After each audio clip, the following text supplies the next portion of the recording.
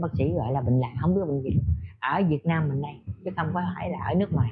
Nước ngoài là bệnh như là cái con trùng ờ, di trùng ăn thịt người vậy đó, là cái đó là là ở nước ngoài, nước mình thì cũng có, nhưng mà cái này mới đây nữa, mới nữa. Cái bệnh này mới nữa.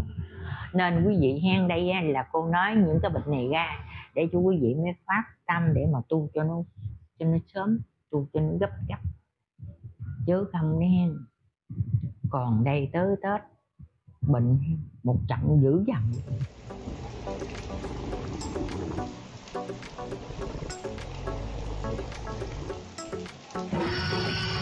Nam mô Bổn sư Thích Ca Mâu Ni Phật. Nam mô Di Đà Phật. Con kính lễ Phật, con kính lễ thầy. Dạ con uh, mến chào cô Năm, mến chào bà con cô bác. Dạ. nam mô bổn sư thích ca mâu ni phật nam mô di đà phật à, cô chào dương cầm cô chào à, bà con trên cộng đồng nam mô di đà phật Dạ. Dạ thì à, để hôm nay à, con Dương Cầm và cô Năm chia sẻ Phật pháp thì à, trước khi chia sẻ thì có một mạnh thường quân đó là chị bé Đỗ ở Mỹ gửi cô Năm 6 triệu để à, phát gạo cho bà con á. Dạ. chỉ có một người ha Dạ một người.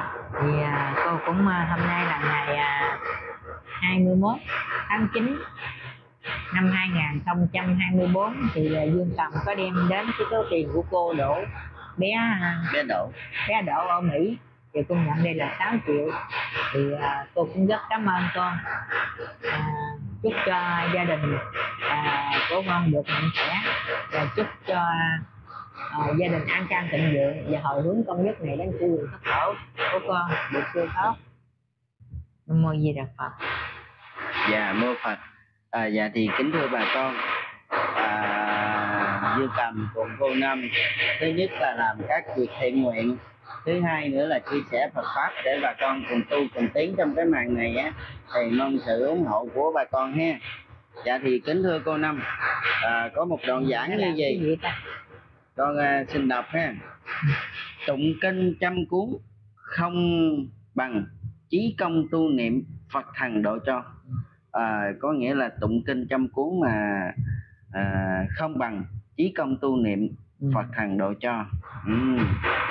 rồi à, bằng ai mà chẳng có lo mong lòng làm dữ nạn to chớ phiền.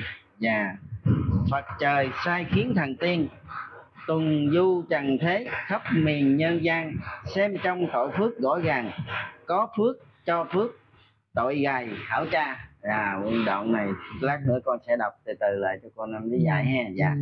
thì mình đọc hai câu trên là tụng kinh trăm cuốn không bằng, Không bằng chí công tu niệm công tu niệm. Là sao cô năm? Tại Là vì cũng mình tụng á, kinh là ừ. mình cũng tu mà. Dạ. Tụng kinh cũng tu mà tụng thì cái tâm không có sửa. Tụng kinh 100 cuốn tâm không sửa tu không sửa thì cũng không có được cho bằng chí công chí công là chí tâm thành tâm thành lòng. Tu là Phật chứng. Đó còn mình tụng 100 cuốn mà mình không có thành tâm thành lòng không sửa thì cũng không bằng mình chí công. Chí công là cố gắng trao dồi rồi sửa tâm tánh cho từ bi hiền lương. Đó là được chứ không phải tụng kinh nhiều mà được. Tụng kinh nhiều mà không sửa không tụ không tu sửa tâm sửa tánh không sửa tâm tánh mình cho ngay cho thẳng thì cũng tụng kinh, không có nghĩa lý gì. Còn hơn mình không tụng kinh mà mình chí tâm, chí thành niệm thật tu hiền, tâm mình tốt, thì còn được hơn ngồi để tụng kinh. Đó như là là Phật cũng ví như vậy đó. Ví dụ như có người tụng kinh hoài suốt ngày mà không có mở cái tâm từ bi cũng không có sửa tâm tánh để cho hiền từ buông bỏ sân si. Thì tụng cũng không có nghĩa gì. Còn hơn mình không tụng kinh mà mình chí tâm chí thành tu rồi sửa tâm tánh sửa cái tâm mình cho tốt cho hiền lương cho biết thương người bỏ buông sân si hết tất cả là được. Hơn cái người tụng kinh. Dạ mình cũng sau đó là mình đi làm tu là phải đi làm các việc Ừ, thiện cô đó thì à, tu á là không phải là ngồi đó mà tụng kinh thì cô cũng chia sẻ rất là nhiều cho bà con trên cộng đồng hiểu biết. Tu thì mình nhất là mình ăn chay niệm phật, sửa tâm tánh, sửa cái tâm mình cho nó hiền lương, cho nó từ bi, cho biết nhân ái, biết cương tất cả, buông bỏ những sân si. Đó là tu, là sửa. Rồi cái thứ hai nữa là mình phải giúp đời, giúp đạo. Cũng như công phu tu tập, giờ phước đức thì thầy, nếu mình tu theo thầy đó hen, theo đức thầy của mình dạy đó thì việc nhà quý bạn đã xong đó, là cũng như việc nhà mình xong rồi, mình công phu tu tập rồi, mình lo cho gia đình mình rồi, thì mình rảnh thì mình rủ nhau làm phước, mới gọi là hiền nhân, rủ nhau đi làm phước, rủ nhau đi đắp lộ, hoặc là bắt tàu, hoặc là làm những việc thiện trong xã hội. Đó, thì mới gọi cái lòng hiền nhân của mình, mới đi, mới có cái lòng hiền, mới có cái lòng giúp cho bà con, giúp cho đồng bào, cho xã hội. Đó là mới gọi là hiền nhân. Thì cộng vô, công phu và công và phước, công phu tu tập và phước đức. Thì cộng vô thì mới được là đứng ngồi tòa sen. Ở sau này mình được đứng ngồi tòa sen là mình được Phật chứng, là mình được về cõi của Phật. Cõi tiên, cõi Phật thì lúc đó để ơn trên mới phân xử cho mình phân ngôn phân thứ cho mình. Thì bây giờ mình làm những lời thầy dạy, thì đó là mới đúng. Chứ quý vị mà ngồi tụng kinh tối ngày mà quý vị không có đi không có đi là giúp đời, giúp đạo. Bởi vì cái màn này rồi, đi cô nói rõ ràng luôn nha. Cái màn này là không còn là ngồi đó mà tu. Ngồi đó rồi ăn của chúng sanh, ăn của đàn na, thí chủ rồi ngồi đó tu tu rồi tức thiền, rồi ngủ, ngồi với thiền rồi ngủ. Được cái gì cho chúng sanh? Rồi ăn tiền đó là tiền cốt của đặng na mà không biết mình có được làm được cái công đức nó vô lượng không? Mình mới hồi hướng cho đàn na thí chủ. Đó. Nên mình phải sức cái công lao động ra, vừa cái công phu tu tập, vừa sức lao động ra để giúp đời, giúp đạo giúp cho xã hội, giúp cho đất nước, cho đồng bào thì mới được. Còn quý vị mà ngồi một chỗ đó đi. Đó. bây giờ mình nói tính đời phật giáo hòa hảo nè. Ví dụ như mấy chú tư sự, tu sĩ nè. Cũng là mạnh thường quân cũng gửi gửi là những thực phẩm lương thực cho ăn ăn rồi những cái quý vị đó cũng có đi làm việc thiện đắp làm lộ hoặc là giúp đỡ cho những đồng đạo với nhau.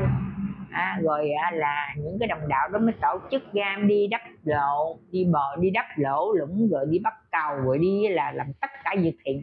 Người ta đi làm chứ không phải ta ngồi một chỗ người ta ăn. À. còn mình ngồi một chỗ mình ăn mình không có chức cái thân ra là động mình muốn cái thân mình cho sướng để mình ăn của người ta thì tất nhiên mình tu được bao nhiêu, mình tu được bao nhiêu mà mình mới bù đắp qua cho cái bao nhiêu đàn na thí chủ đó. Đó nên là quý vị phải tu theo thầy dạy đi. Đừng nghĩ rằng mình tu vậy là mỗi người mỗi cách tu. Bây giờ cái cách nào cũng có phật dạy ra thì cái cách của thầy dạy là đúng, thì mình tu theo. Đó nên là quý vị, bởi vì tụng kinh ngàn cuốn cũng bằng chí công, ha, chí công tu hành. Dạ. yeah đó, nên đó là quý vị phải biết tu, phải biết cách. Thì thầy nó tu phải biết cách.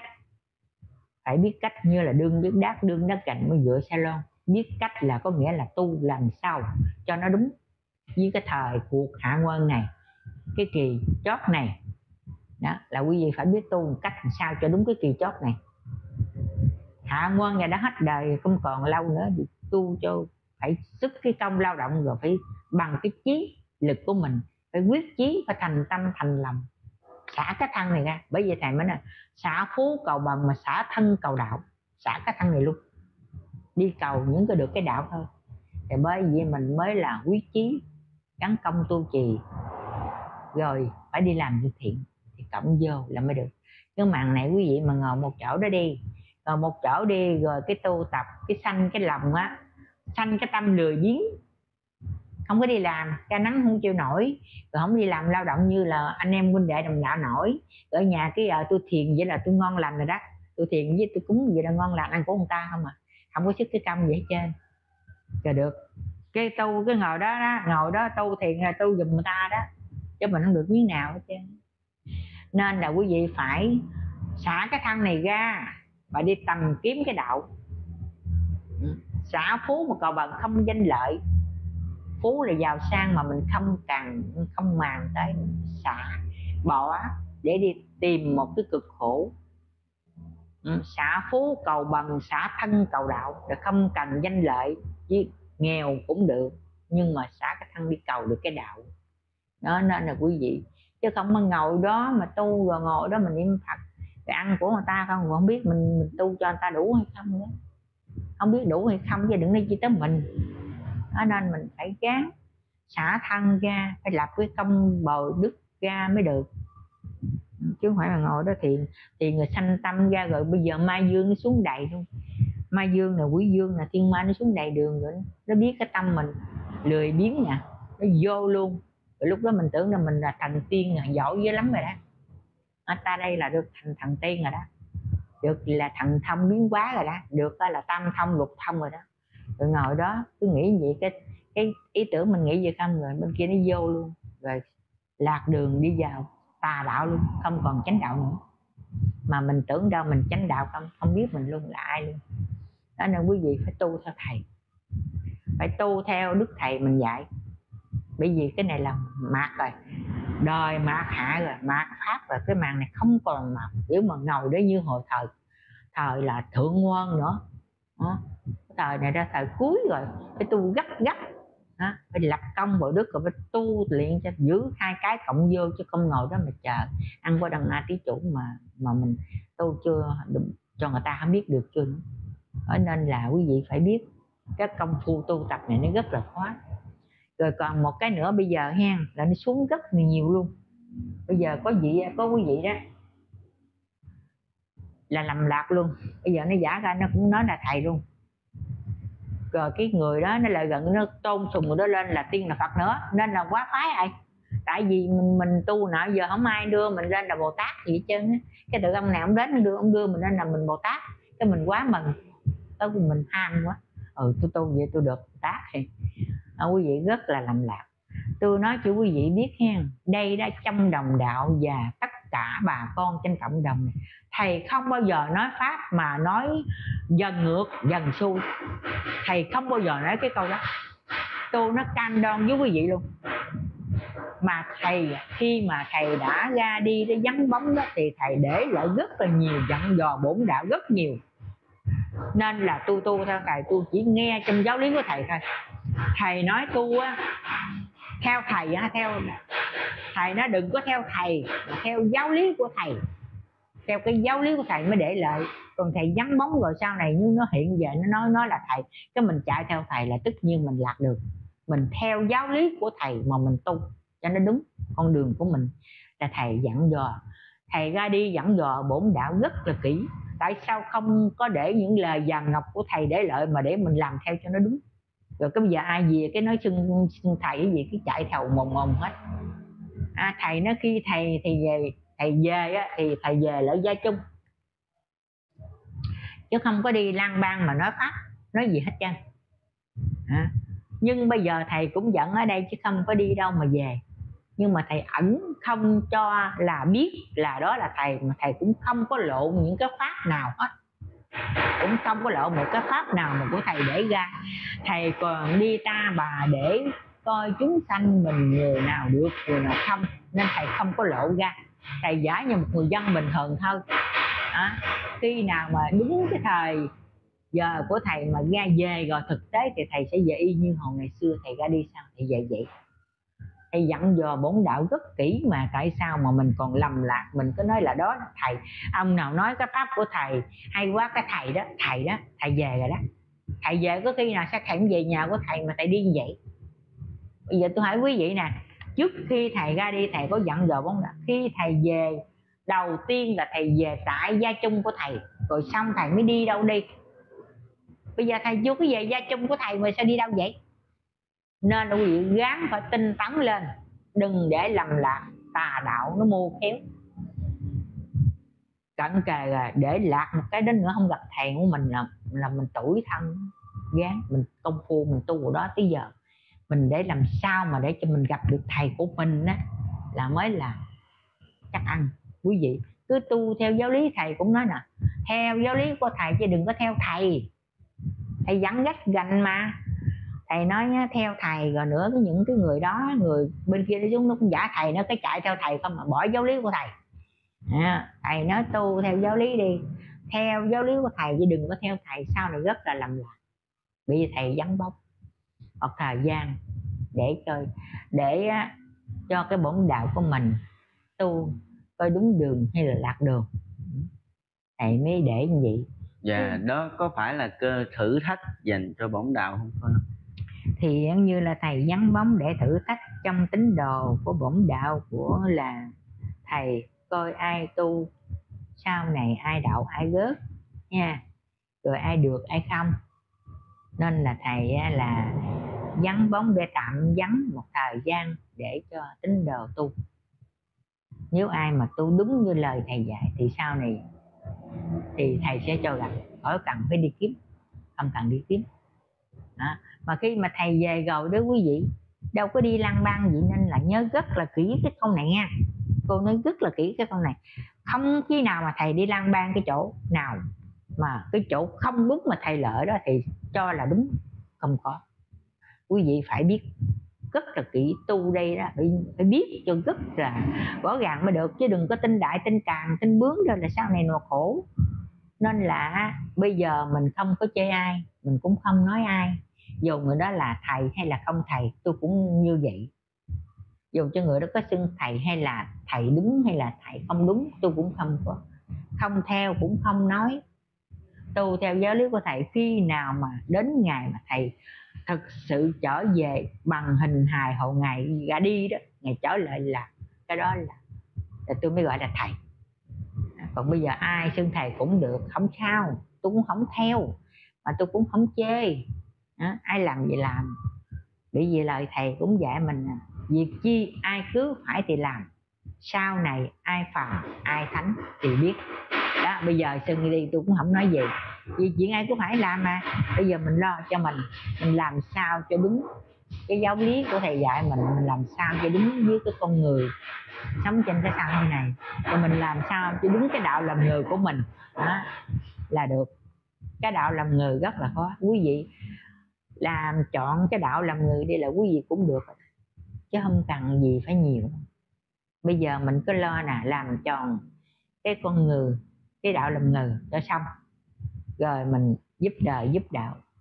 Đó, còn ai làm gì thì thế kệ. Không theo mà cũng không chê, cũng không nói. Đó. thì để đó đi. Ở trên cũng có phân xử hết chứ không có cần tới mình đâu. Mình cứ lo thân phận của mình đi. Cho nó xong. Chứ tôi nhắc nhở quý vị đừng có chạy theo, đừng có chạy theo. Đó, mình cứ tu theo giáo lý của thầy đi. Bây giờ cô thấy rất là nhiều luôn. Chưa đâu nó còn nhiều nữa. Nó còn rất là nhiều nữa nghe, từ nó một ngày, một năm, một tháng sẽ lộ ra lộ ra lộ ra hoài hoài luôn. Vậy thầy cũng có dặn mình rồi. Thầy nói là ba ngàn sáu trăm mới đạo nó xuống đây khi mà thầy vắng bóng rồi đó. Phiên trong tính đờ phải gán. Nên là bây giờ lời thầy nói rồi cho mình tu theo giáo lý đi. Tại đi, ai làm làm, mình không theo ai mình cũng không có tôn sùng mà mình cũng không có nói ai là được hay là không. Đó. nên quý vị cứ tu đi đừng có chạy theo những cái đó là sau này lầm lạc. Thầy cho mình biết rồi thì mình cứ giữ một đường tránh thẳng mà đi đến, đi thẳng đến, chứ đừng có đi là nghe lời rồi chạy theo rồi tiêu đời. Tôi nói nha, những người mà đi hen mà chỗ này, chỗ kia hen rồi xin thầy đó là quý vị nên ở nhà tu đi, đừng có đi theo nha là cô viên rất là kỹ. Rồi tới cái này, thì à, cô cũng có nói là hôm trước tới giờ đó là bệnh đó. Thì bây giờ cái chứng bệnh nó rất là kỳ. Đây ở chị tơ mình có rồi là ngứa rồi cái nó nổi trên cái da mình nè. À, như quần quần như máu da máu bằng quần quần mình ngứa cùng mình luôn. Bác sĩ khám không ra bệnh. Yeah. đây nè chị tơ mình cái chú đó là ở đây nè rồi cô mới cho bịch gạo với thằng mì đó.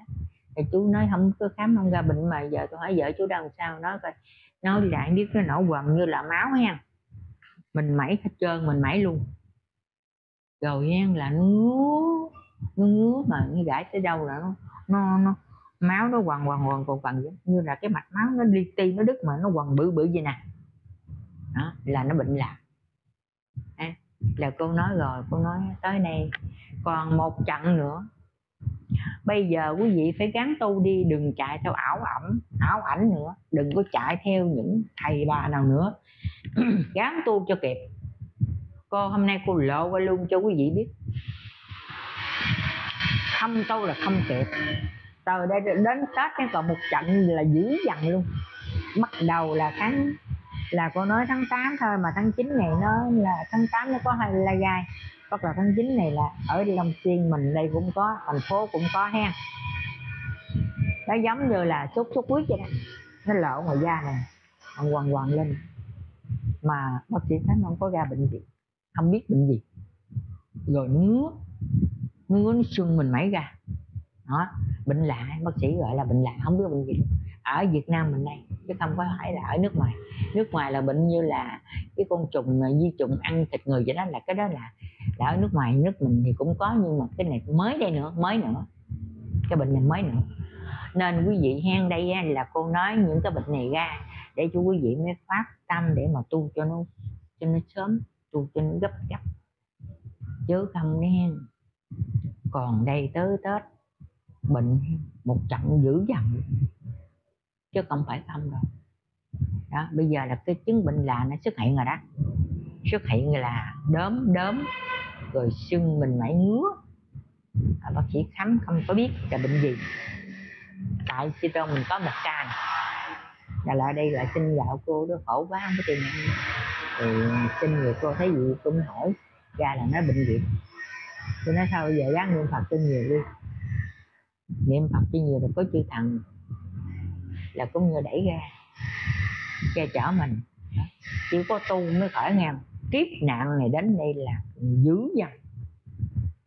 Nên là cô cho quý vị biết, một kiếp nạn để tết thôi một trận bệnh này cũng như là covid mà covid thì còn bịch khẩu trang còn bệnh này nó dính vô da mình luôn. Ghê. nó bám vô mình luôn vậy nè. Còn đó mình bịch khẩu trang là nó không vô phải không? Nhưng bây giờ nó ở trong mình mình nó bám vô da vô thịt là nó bám vô là dính bệnh liền. Nên là mình không có là bịch khẩu trang gì được.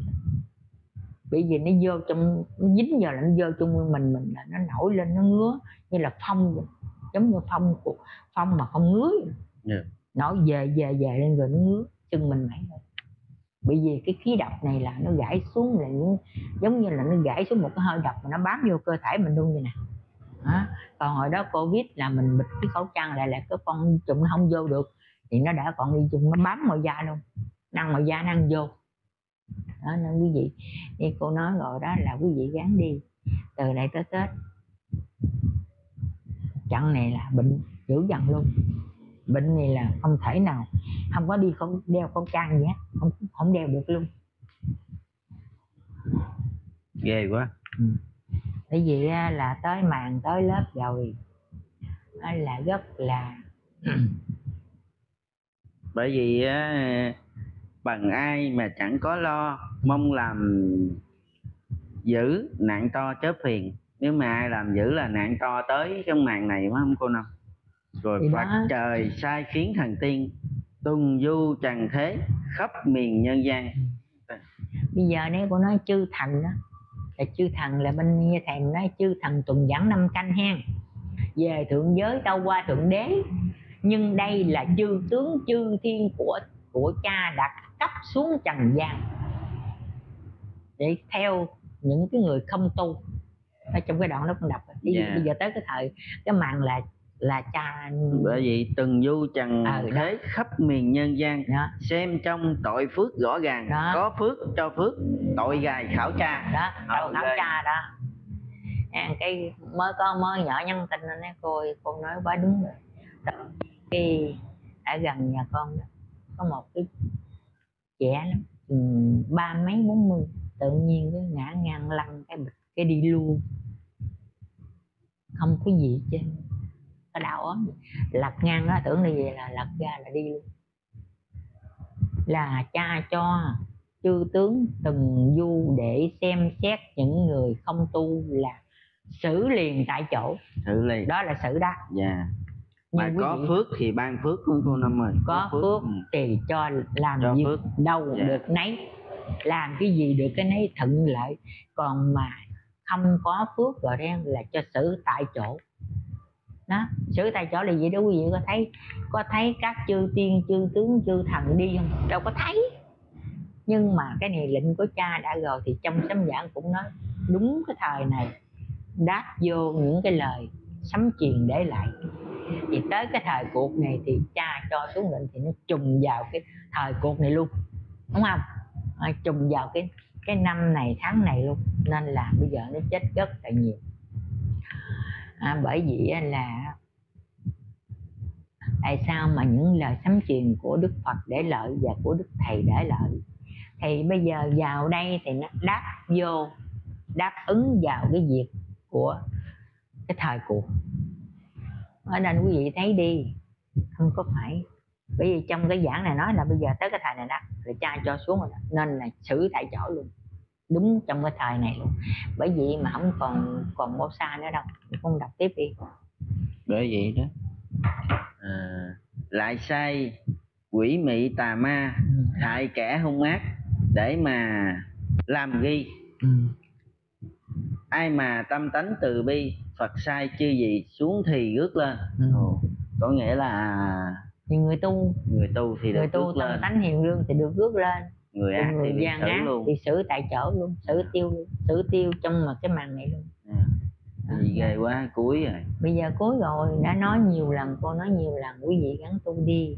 Đừng có nghe ai hết mà cũng đừng có gì. Cứ tu sao cho tâm từ bi sửa tâm sửa tánh hiền lương giúp đời giúp đạo. Việc gì cũng cái tâm mình cái từ bi đó là được. Bây giờ không có còn cái gì mà để nói dài dòng hoặc là nói xa xa rồi nói gần gần không có nói gì. Không có nói xa nói gần mà nói hiện tại luôn. Nên là cô cho quý vị biết không nói xa không nói gần mà nói hiện tại. Dạ bởi vì cô năm nói đó bởi vì có đoạn giảng này là ờ, nhắn nhủ rõ ràng luôn nè cô năm nói người hiền nói ít thì biết nhiều. Ừ, cơ chờ đã định chẳng chiều thì mai. Ừ, cuộc đời thấy khổ lâu ngày nói cho nam nữ gán mà tu thăng. Ừ. ừ, không? Cơ chờ gì? Cơ trời đến đó mà là sấm giảng của Phật thầy và của Đức thầy để lại là cũng khuyên trai gái mau mau tu tỉnh. Mà lúc nào cũng khuyên mà đến cái màn này rồi nó, nó đáp vào cái câu sấm giảng của thầy để lại rồi. Thì phiên vẫn khuyên mà chúng sanh thì nào đâu còn tĩnh tâm bao được bao nhiêu. Rất là nhiều luôn. Lúc nào cũng đức phật cũng từ bi nhìn xuống mà thương xót chúng sanh. Lúc nào cũng lời khuyên nhưng mà nào có được bao nhiêu? Không được bao nhiêu thay phơi chất chồng rồi đây thảm sầu ai biết? Rồi đây thảm sầu ai hay? Đến đây khóc la kẻ khóc người la. Kẻ mất chồng người mất vợ kẻ mất con lìa cha xa vợ xa chồng. Không còn bao lâu bây giờ bình thạnh nước ngập lúc quận bình thạnh thành phố hồ chí minh. Mới đăng sáng bởi vì trong sám giảng nè ông à, Trình ông nói Sài Gòn đó ai đâu mà ngờ nước đâu mà chảy lỡ bờ nước cây cái cái màn này nó cũng sắp tới từ từ từ từ vậy đó. Mà khi mà quý vị mà thấy nó kết thúc rồi là không còn cứu chữa được nữa nhưng bây giờ còn cứu chữa được nè. Dầu chỗ này ngập miếng. Bây giờ cái quận bình thạnh là ngập lúc cái à, đi làm cái bờ kè đó cao vậy mà tràn qua luôn tràn bờ cái bờ kè. Cái bờ kè vậy nó xây cái đê cái đê lên đó. Dạ. Tràn lúc đó tràn vô trong nhà âm ầm ầm ầm luôn. Quận thạnh đó quận bình thạnh là cái à, sông sài gòn đó. Rồi cô biết nằm cặp với sông sài gòn là ừ, cái cầu sài gòn đó khu khu của chung cư đó. Là nó tràn luôn lúc cái à, cái bờ kè tràn qua luôn xong mà nước cái dưới nó dâng lên vậy đó. Chứ không phải là mưa ngang. Dạ. nước dưới sông nó dâng nó vượt cái bờ kè người ta xây đây người ta xây cao lên nữa. Thì nó, ở dưới nó dâng lên nó qua hút cái bờ kè rồi nó tràn vô trong nhà. Chứ không phải là mưa. Nó quay nó quay cận cảnh luôn coi hồi sáng này. Nên là quý vị thấy chưa? Ở trong cái đoạn là nước đâu á là đất bằng mà nước đâu lại trào thấy không? Sài Ừ. Gòn gia định ai ngờ nước đâu mà phải lỡ bờ nước cây nữa. Rồi ở trong cái đoạn của ông nói là đất bằng tự nước đâu dân cào đương nhiên đất bằng trăng biết nước đâu, dâng lên. Cái sông ở dưới sài gòn nên nước dâng lên chứ không phải mưa. Tràn lên sông sài gòn. Đó. rồi đó là quý vị thấy đi, nó cận kề rồi mà không còn chữ tu để còn chờ đợi gì nữa. Còn chờ đợi cái gì? Vàng bạc, tiền tài, vật chất danh vọng là hư ảo là ảo mộng. Nhưng mà mình cũng phải làm để có ăn rồi mình đang làm phước. Chứ không phải là mình nói vậy là mình không làm. Mình cũng vừa làm vừa ăn vừa làm phước vừa bố thí cho người nghèo. Không nên tích chữ à, tích chữ thì sau này? Thì trong à, đoạn giảng của à, đức thầy cũng có nói là giàu sang như nước trên nguồn gặp cơn mưa lớn nó tuôn có một giờ không tới một giờ nó cũng tiêu hết đó, bây giờ thực tế cái câu sấm giảng này quý vị nhìn đi, thấy có hay không? Cả thế giới cũng có, việt nam mình cũng có. Sống thằng ngập một cái thì chưa có được một giờ đồng hồ thì tất cả đều nhận chìm trong biển cả. Tất cả dùi lấp xuống dưới bùn sình không còn thấy được cái nhà mình luôn. Con giờ không có gì đáp ứng hết, tất cả có hết. Trong nước, ngoài nước, trong âu, châu á đều có hết. Những lời, cái câu của sấm giảng của thầy nói giàu sang như nước trên nguồn, gặp cơn mưa lớn nó tuôn có một giờ cả thế giới, cả hoàn cầu vũ trụ này bây giờ đáp ứng cái lời của đức thầy nói rồi có một giờ thì quý vị ập lên một cái không còn thấy cái nóc nhà của mình đó. bởi vì năm nay mình thấy rõ ràng đó năm rồi cũng ấy mà năm nay thì đầu năm thì lửa cháy thấy gớm không? Ừ. còn cuối năm nay thì nội ở bên mỹ hay nước này các nước này, đều dông bão luôn. Việt nam mình bão là nước mỹ bão yeah. Canada cũng bão nè pháp cũng bão nè. Có chỗ thì nó nóng nha sản luôn có chỗ thì lạnh cống luôn. Cái chỗ thì nước dưng lên bên pháp đó nước dưng nước dưng mà cái người pháp đó hen và không có điện nước xài luôn yeah. Dạ. cái cô sóc ken cái cô mà vụ quả đó bên pháp đó cô nói khổ lắm người người pháp đó khổ lắm như là nước nạp lên rồi mất điện đó rồi không có nó dưng lên quả nó không có giật rồi điện nước thì mất hết trơn khổ dữ lắm luôn bởi vì năm nay mình thấy rõ ràng ở cô năm bên ừ. mỹ là đầu năm thì nó bị cháy cái gì đó nguyên cái tiểu bang đó ừ. rồi mới đây thì sao mấy cái tiểu bang đều bị lốc thấy sáu tiểu bang ghê thiệt sáu tiểu bang bị bảo luôn. Thì cái hai cái cô anh hai chồng anh hậu đó cũng thấy cũng ngay cái lần mà nhà chị không sao đó. Nó là sáu cái tiểu bang luôn đó, đó. thấy chưa quý vị? Không phải là nói riêng.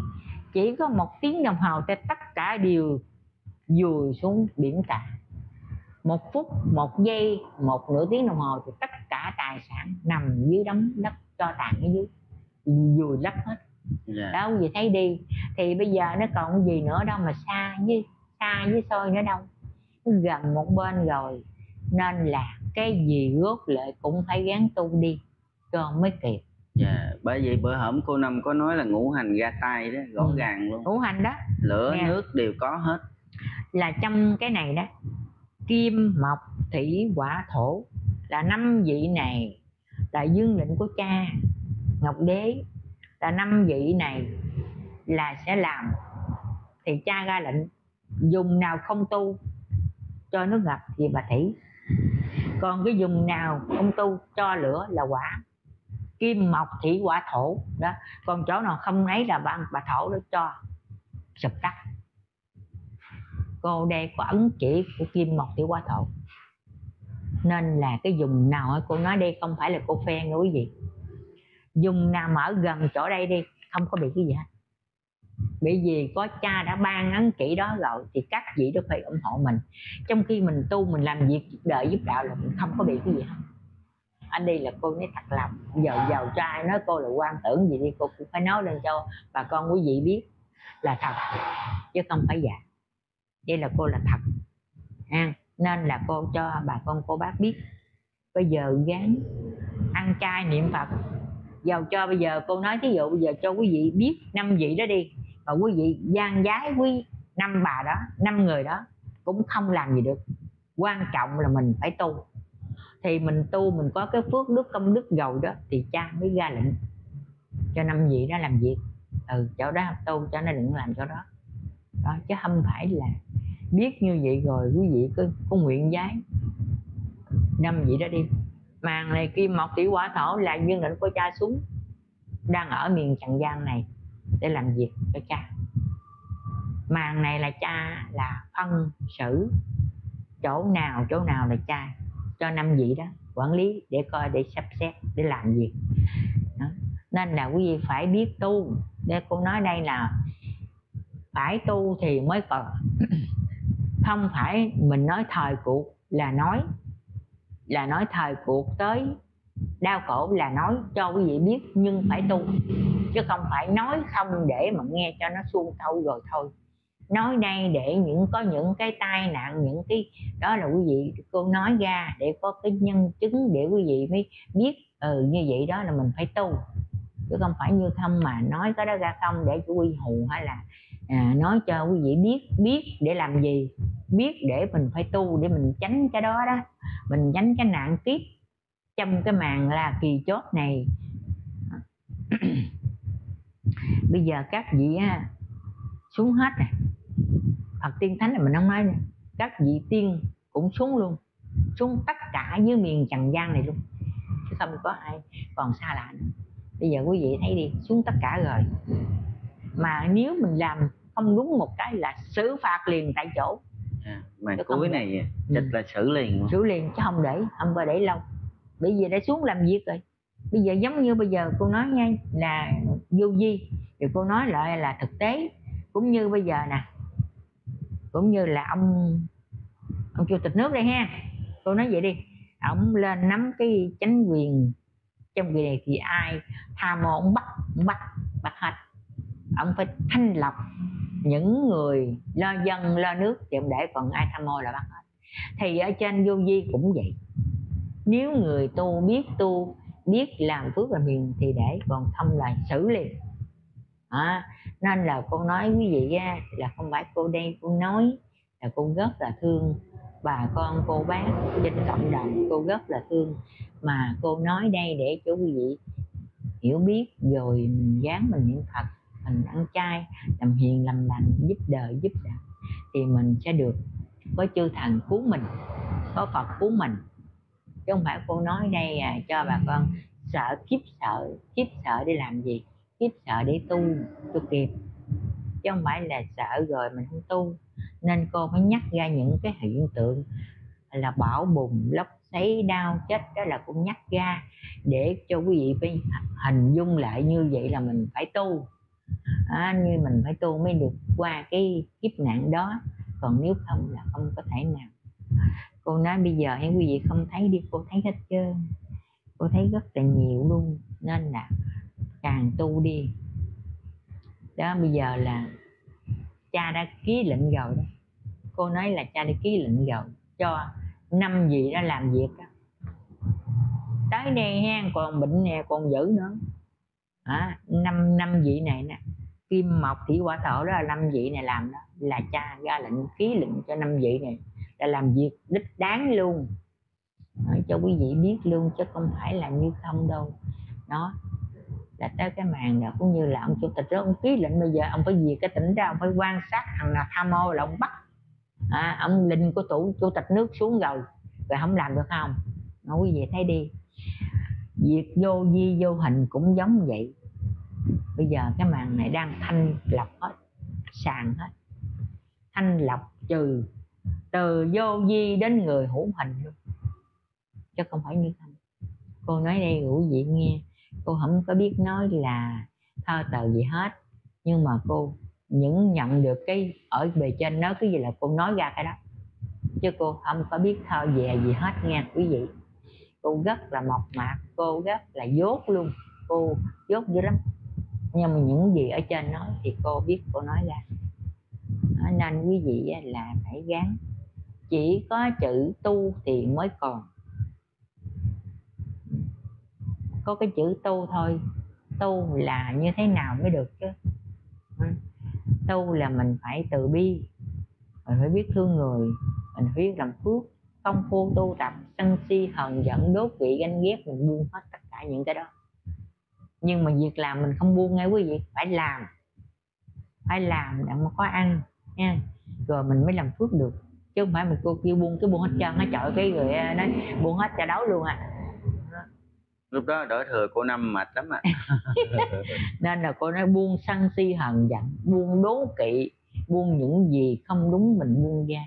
Nhưng làm ăn thì vẫn làm ăn làm đâu là cho nó ngay thẳng ở đó là được dạ cảm ơn cô năm ừ.